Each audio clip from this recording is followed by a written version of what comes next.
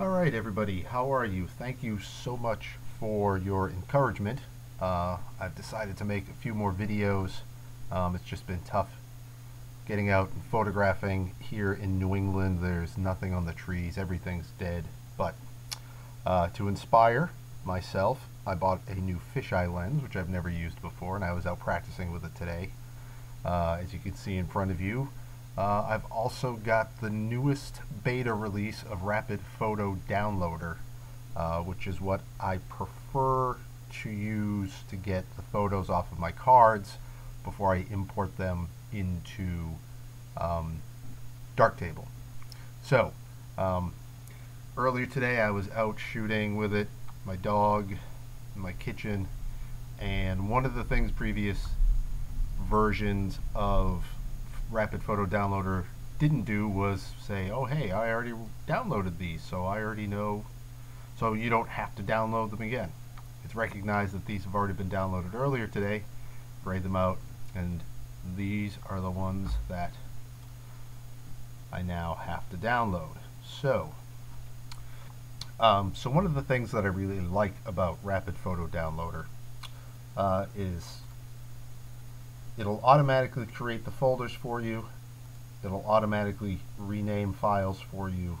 Um, you can give job codes, which I'll show you in a minute, and then there's the backup option over here. Um, if you pop your card into your laptop or your computer, this will basically allow you to back up to, or you'll be able to download to two separate locations. Um, so to your hard drive on your machine, and if you've got a remote hard drive, either USB or uh, hopefully um, network. I don't have that yet. I really should, but um, so anyhow, destination. I don't do any video, so I don't look at it, but um, just to give you an idea here, if you wanted to create your own um, file, or excuse me, folder format, you go into custom. So this is what I have right now. You can see when it uh, opens, it automatically goes to my photos folder. It will either create or go to the folder with the year, which I've already got existing here. It will go to or create the year and the month, which you can see I've got here. Um, within it, it will go with the image date, month, and day, and then dash job code. Um, so that's what I have as my custom um, subfolder generator. So um, what I'm going to do is go ahead and download these. So like I said, it already knows I downloaded these earlier. I've got a couple more of my kitchen, which is tiny, so that was kind of fun. Um, did some radial blur stuff here, turning the camera.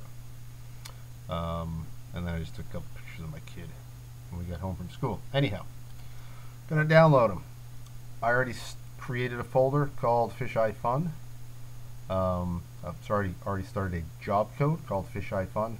I'm going to use this uh, as the job code for this one. I don't know if it'll put it into the same folder or if it'll start a new one. Let's find out. Hit OK. And you can see it has changed the name of the files already. Oh, I haven't looked, haven't shown you that yet. Uh, as it downloads them.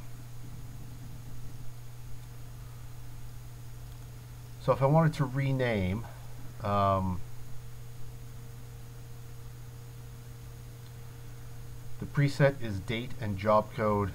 The extension stays lowercase. So basically that was fine with what I wanted. It's got the date, 2007, March 3rd, dash, whatever job code I put in, fisheye fun. If I'm doing a real estate shoot, it's probably the address. Uh, if I'm at a state park or something. Um, and again, I don't do video, so I don't need that. And today it's downloaded 40 files. Anyhow, this is the part that was important to me. It automatically down. It automatically changed the name of every file um, to the job code, which I love. Anyhow, so that is Rapid Photo Downloader. It's in beta. I will link to it in the description below where you can get it. I would encourage you to start using this over Darktable for one very simple reason. Uh, it's the photo, it's the file renaming. Um, Darktable doesn't do it, but Darktable does do something that this is lacking, which is tagging. So I've uh, pulled them off of my card. I'm going to go into Darktable. This is the latest stable uh, Darktable. I don't bother with the builds, with the um, Git builds. Just not my thing. Um, so I'm going to import from the existing folder. So if I go into March, excuse me, April, uh, this is the file, the folder that it created. Inside it is all of the files, so it looks like it actually did add. These are all the new ones that I added from this afternoon. Um, and down here, this is what I like. We can apply metadata on import. Um, so you can use presets here if you use the Creative Commons. Um, they've got them all done here. I did for a while. I switched to all rights reserved. I'm not sure why. It just seemed right. Got my name here, publisher. I don't have a publisher. The rights um, was set from here. And then for tags, I did fisheye, comma, home because I was at my house. Uh, and there's not much else more. But if I was doing a real estate shoot, I'd put in the address, maybe the real estate agent of, who's showing the house or the property, um, if I was on vacation, where I went, if there were family members in the shots, their names, and that will come in handy later um, when you need to search for stuff. So I'm going to go ahead and open it on import. my dog. All right, so now I've got all of the newest ones loaded up in here. I was doing something earlier, so let me switch this back to time. So now this is the order in which I took them today. I worked on some of them for the fun of it. But um, as you can see, they're all here. And if I click on image information, you can see the film roll has been named what the folder is. The file has fisheye fun in it. Um, and if we come over here, we can see under tagging, where did they go? There's supposed to be a top window here. Um, let's do my car. I'm going to left click there, shift, left click here. There we go. Um, so Darktable's already tagged it a few things. It's brought in the fisheye tag. It's brought in the home tag. I'm going to add car.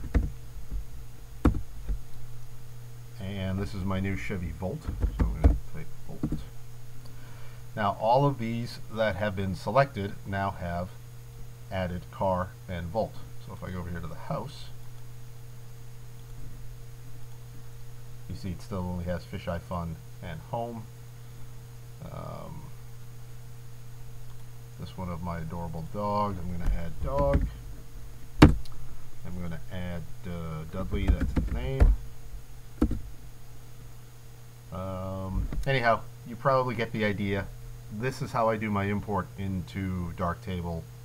Um, I start with Rapid Photo Downloader, which allows me to change, create uh, a folder structure, and change the file names uh, and then when I import it into Darktable, I can apply tags on import and then go further in on the tagging module in the Lightroom view. Um, that's all I'm going to do for now. Uh, a couple people had requested how I do my import, so there you have it. If you guys have any questions, let me know in the comments below. If uh, there's anything else you want to see me do, let me know. Uh, I should be able to get out and do more photographing now that it's warming up some. Um, and I've got a lot of day trips planned throughout the spring and summer. So that's all for now. Thank you for watching and have yourselves a great day.